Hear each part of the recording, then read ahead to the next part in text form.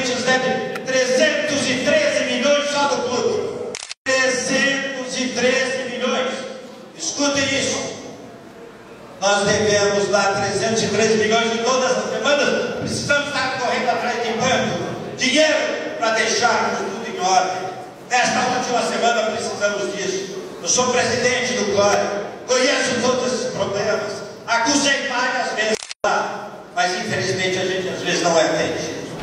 Entonces,